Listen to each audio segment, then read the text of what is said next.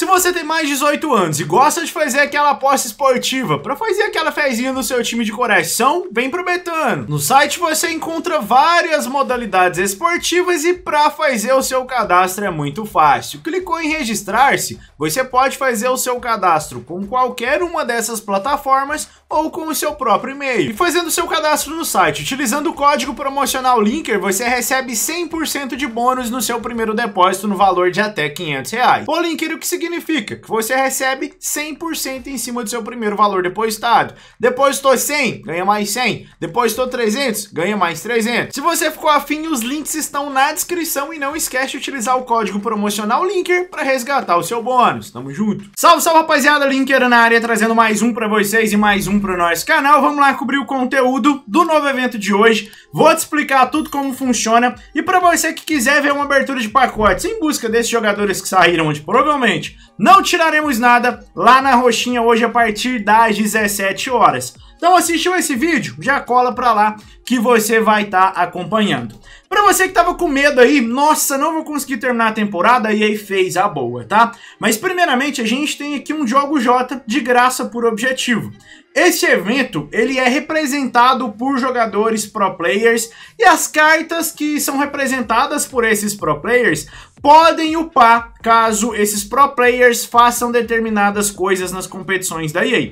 Porém, essa cartinha do Diogo J, pelo menos pelo que eu vi até agora, não tem nenhum representante, então é um jogador que não pode evoluir, no caso do Diogo J, tá? Você tem que marcar 10 gols em qualquer modo aí, é, de Squad, Rivals ou Foot Champions para ganhar 2,80 mais. Tem que marcar pelo menos dois gols em três partidas, ganha 2,81.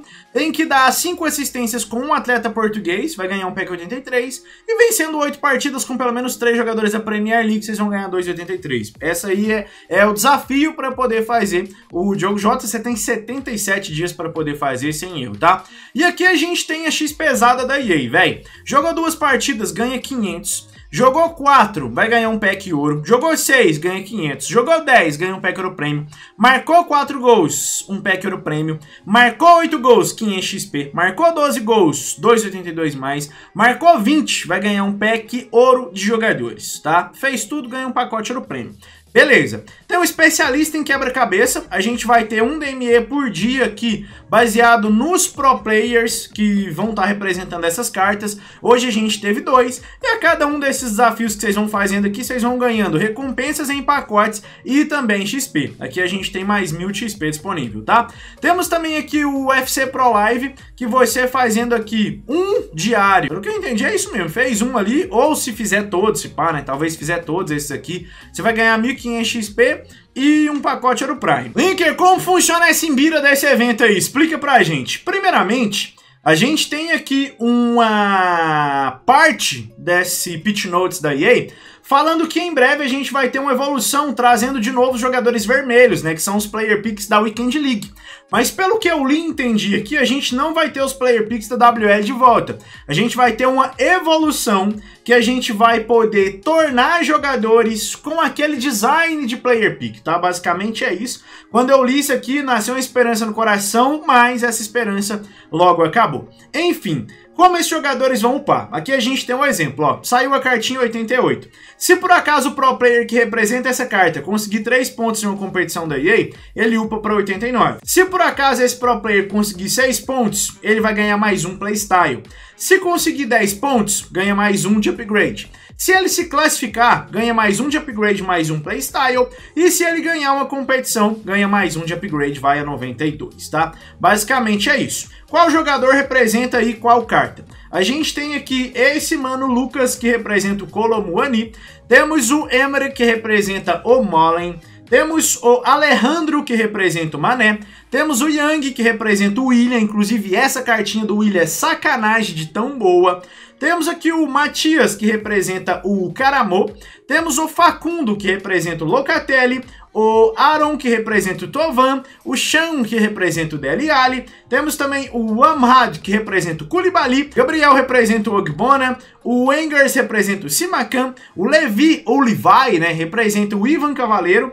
Temos também o Osama, que representa o Fabinho, Julian, que representa o Makengo, tem o Tex, que representa o Phillips, e tem o Bachore, que representa o Lozano, que veio por DME. Para você que quiser saber então a representatividade, são esses aqui que representam cada carta, tá? Então aqui, por exemplo, para o William receber o upgrade, o Young tem que ir bem nas competições da EA, tá? Basicamente é isso. Vai ser um evento de uma semana, tá, rapaziada? A gente já deu uma olhada, mas vale olhar aqui por dentro também. Pô, cartinha do Simacan, o Pando pode ficar bem legal. Ivan Cavaleiro, belezinha. Makengo, belezinha. Molen, tem o Philips, 270 mil. Tem o Caramor, 67k. Interessantezinho.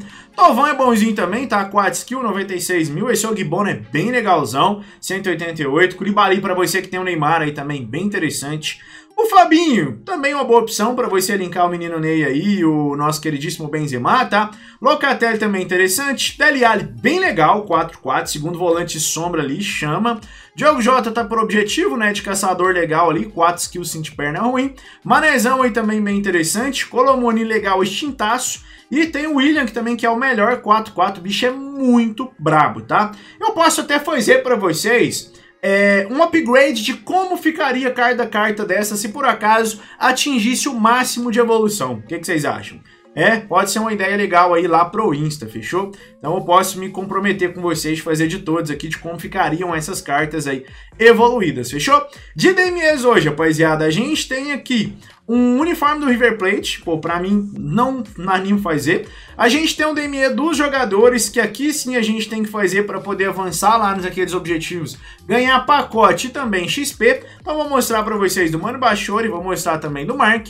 Temos seleção da semana 82 ou mais, para você que quiser fazer aí então uma boa oportunidade. É, um elenco 82 com 2,84 e um elenco 83 com 85, meu puxadinho no valor, né?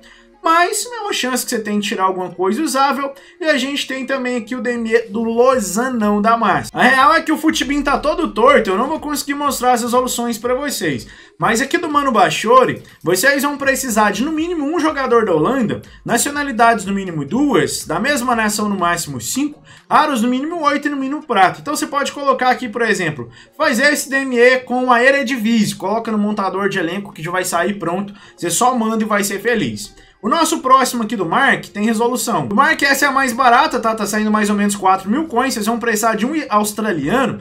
Vocês podem fazer com segunda, terceira divisão inglesa, tá? É bem tranquilo de fazer, 24 pontos de entrosamento, coloca um jogador da Austrália. E o DME do Losan tá saindo 120 mil, uma classificação geral 83 te dá um pack ouro e a top form vai te dar um prime variado. Por 30 mil a gente tem a classificação geral 83 com 1,86. Por 92k a gente tem um informe com a classificação geral 84. A cartinha do Lozano é bem interessante, se eu não me engano tá sendo representado pelo Tex, não é isso? Na verdade é pelo Bachori, tá rapaziada? A cartinha do Lozano é uma carta bem legal, Porém, o link dele é muito difícil. Primeiramente, mexicano.